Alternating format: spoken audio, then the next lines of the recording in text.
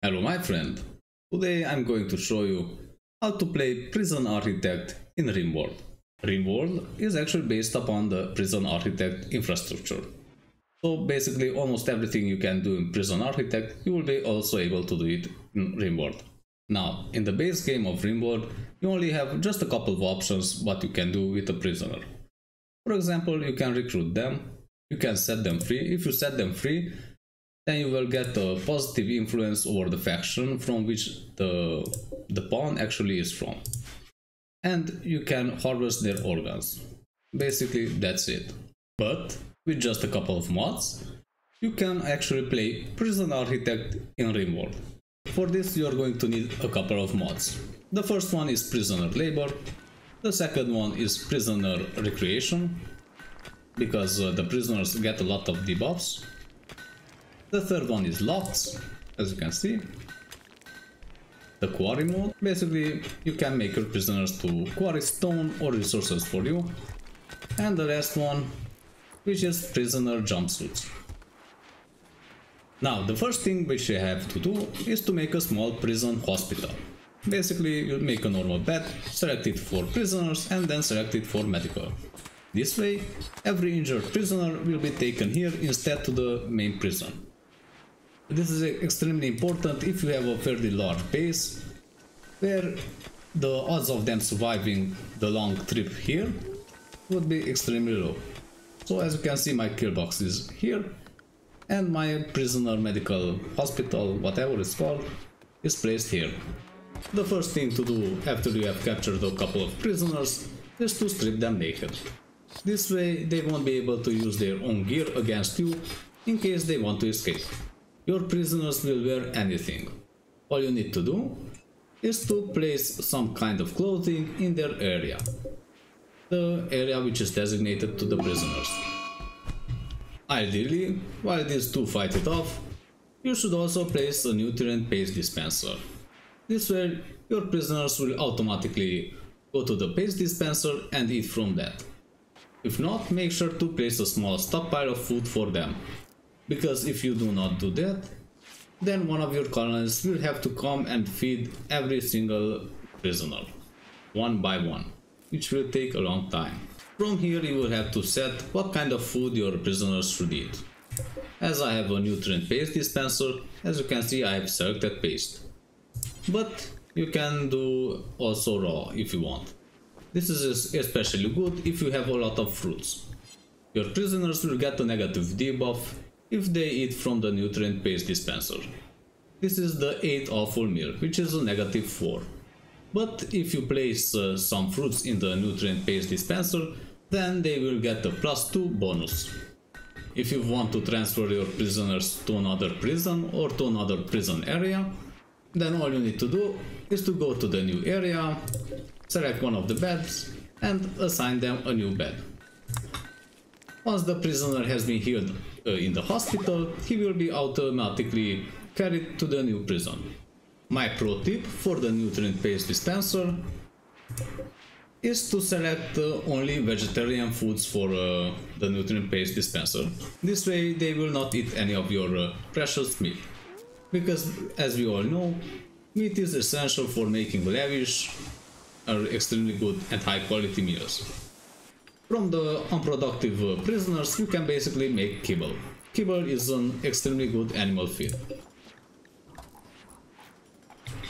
All you need is some hay and select the desired meat type, like android, insect, elf, whatever you have.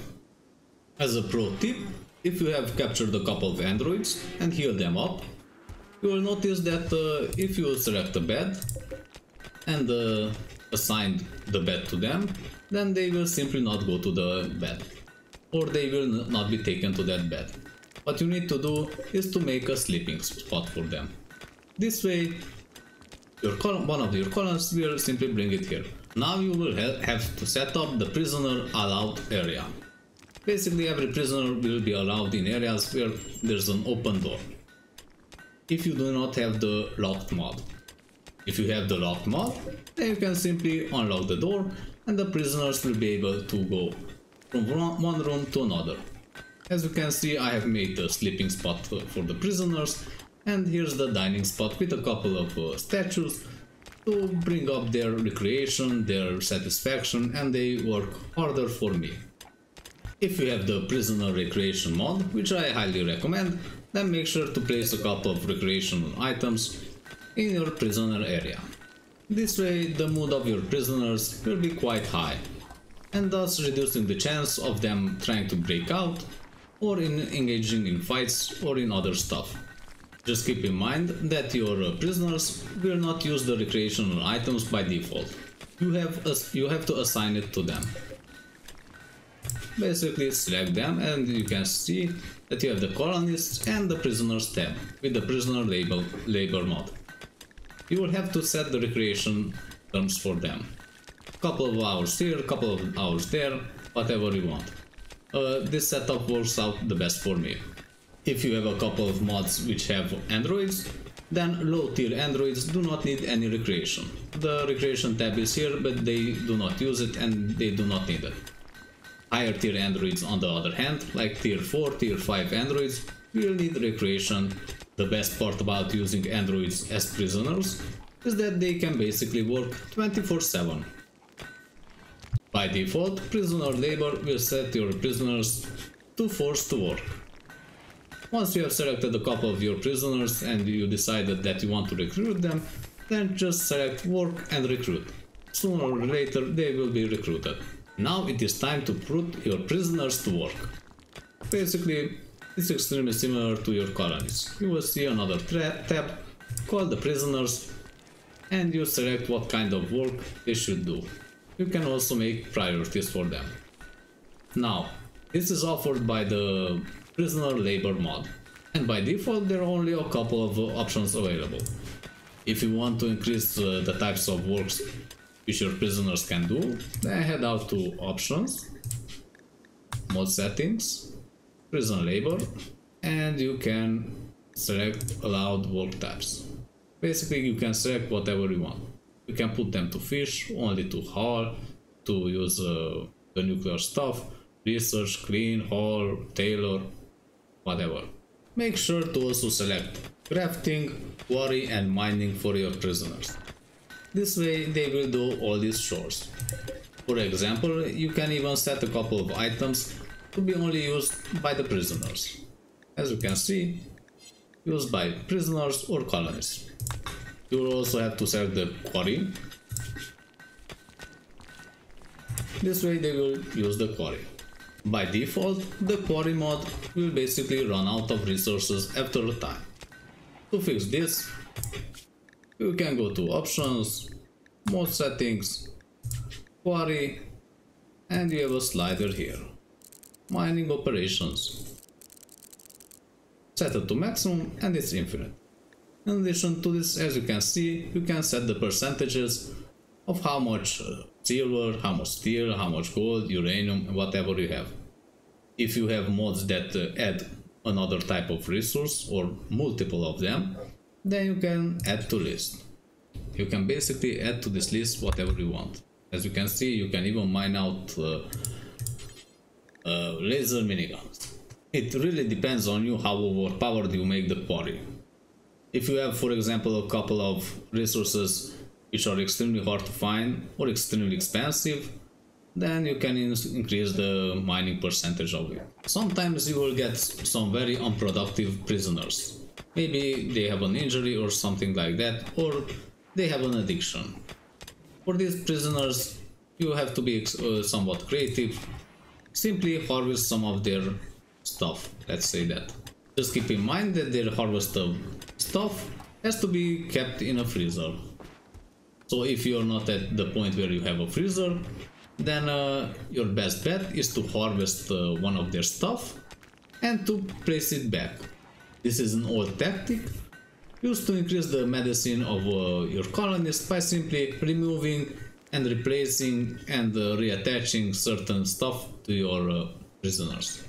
In case your prisoners want to escape, then you shouldn't really worry about it. Because most of your prisoners will not have their own gear, mostly they will have their uh, the prisoner jumpsuit and they will also have the, the prisoner chains. This means that they will be moving extremely slowly and they will have no, no protection on, against any kind of damage. In case you want to capture new prisoners, you can make it extremely easy on yourself if you have the numbers mod. Just select the numbers, select here enemies. As you can see I don't have any enemies on the map currently. You can select the skills and this will show the skills for the enemies.